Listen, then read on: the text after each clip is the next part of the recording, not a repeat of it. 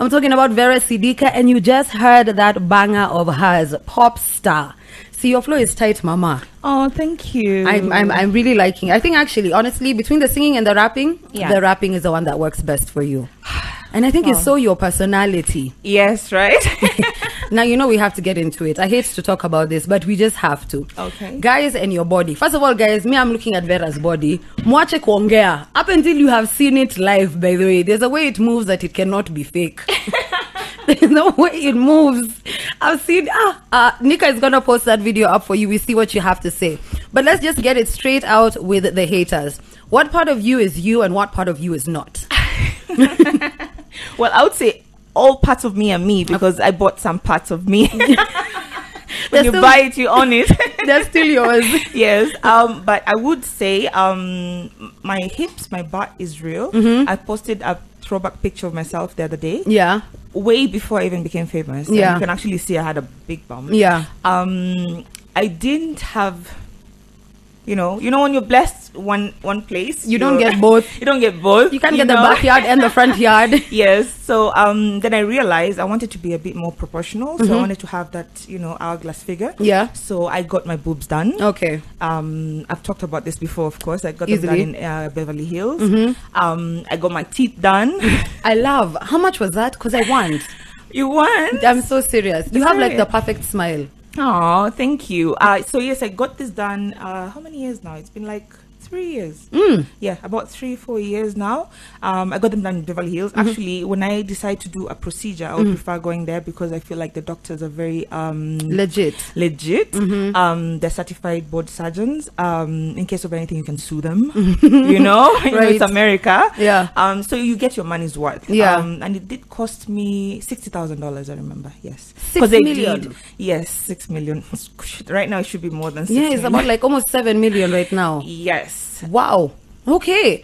Let me tell you, you look fantastic. Thank you. A lot of guys are besides themselves saying um your post where you're talking about your rebirth was insensitive and whatnot. Okay. I think first and foremost she said she shed light on something that is happening. Yes, you know, a problem true. that actually is happening when it comes to body enhancement procedures. Yeah. And I think Kenyans you should be happy that she didn't go through that. That the plight that she was talking about actually didn't happen to her. You guys wanted her to suffer, Ama.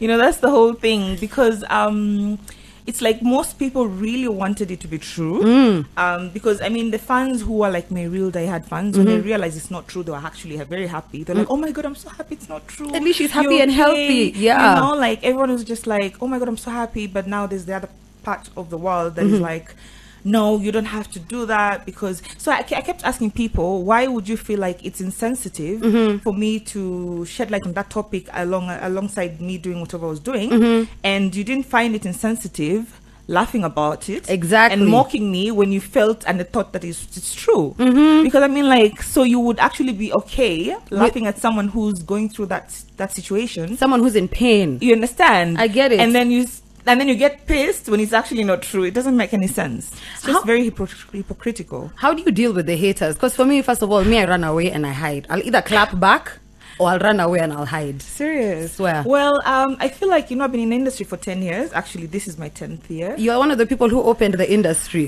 Yes. Uh-huh. So um, I, I think I've been at a point in my life where I am very, very thick skin. Mm-hmm. I know how to deal with haters. Um, I remember the first time when I was new in the in the in the, in the whole celebrity fame life. Mm-hmm. I used to cry. My, I used to cry myself to sleep. Like I used to call my mom, like, "Mom, what are they, why are they saying this? The blogs are writing stuff."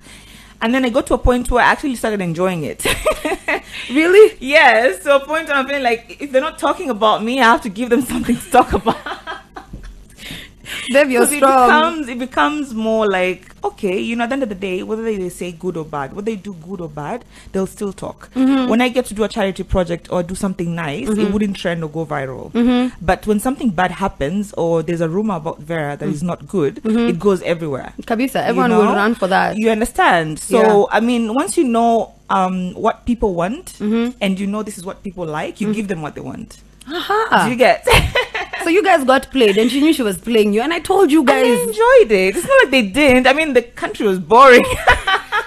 we were all lost for a hot, quick minute. They're just You like, know? okay, what are we going to do? yeah, and then I felt um my biggest thing is because it does happen. It's Yeah. not like it was all play. I mean, it does happen out there. The people who do get to run for surgery because they're very, um, they, they're under peer pressure. They get this situation where like everyone wants to have this nice, perfect body. Yeah. Uh, and in the process, they end up falling into the wrong doctors, Mm-hmm. the wrong hands.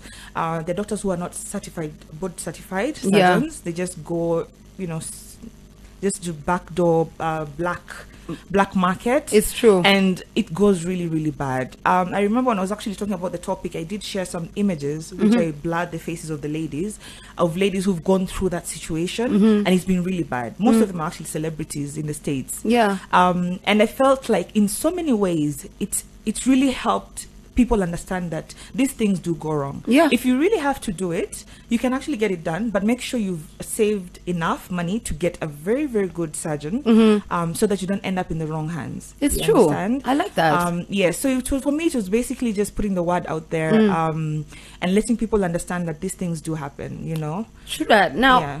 would you change anything else on your body? Is it in your plan? I'm okay to Sawa Avenue. Well, um, would I change anything in my body? Honestly, um, like I told, I actually told my my fans the other day a story about how I grew a bigger butt because I had a big butt, Mm-hmm. but now I, I at some point in my life when I started being in a serious relationship, Mm-hmm. I did uh, contraceptives. ah, yeah. So I my, literally just blew up. That kind of happens, by the way. you know then um i was in this situation where like i have this excessively big you know and to be honest with you people think it's fun and everyone wants this Vera Sidika behind Mm-hmm. but to me i honestly wanted to be smaller you would go get a reduction. well i don't know if it's possible is it possible to reduce a butt I mean- that's the thing I don't know Again, my money is not letting me think about such things like that. yeah but i mean i would want to resize Mm-hmm. uh, because like i told you i did the contraceptives before i didn't know that it does have that effect Mm. Yeah. it makes you add weight so i did keep adding adding and adding and most of it was going to my you know you're and behind, yeah. you understand and then it got to a point where now i when i stopped actually i was enjoying the contra- contraceptive because i wasn't getting my periods Mm-hmm. and you know women don't like that so it was more like okay Gosh. yeah Let me tell you, Vera, you're a very sweet lady. I'm so happy. To, this is the first time we've actually met face to face. Oh yeah, by the way. You know, we just and I in places. And by the way, guys, Kamene is so sweet. She comes to my spa in Mombasa. She is such a oh, you're such a sweetheart. Anytime. You know me, I'm all about make love, not oh, war. thank you so much. She's a sweetheart, guys. Like I love this babe. You don't you don't know. Seriously. We're definitely going to link up, but regards to your familia, all the best with your you, music. thank you. Thank you for pulling up. My people, we got her. We got it straight. I have confirmed myself as well that everything is there. So can we just move on with life? and it's real. The It- bomb is real. yeah, it's real. I've seen Kamene it. will touch it later. On that note, this has been the morning kiss from myself, Kamene Goro. Vera, thank you so much. Thank you for having me. Have yourselves an amazing Furahi day and a great weekend ahead. I'm leaving you with this fire banger again by Vera Sidika. It's Popstar.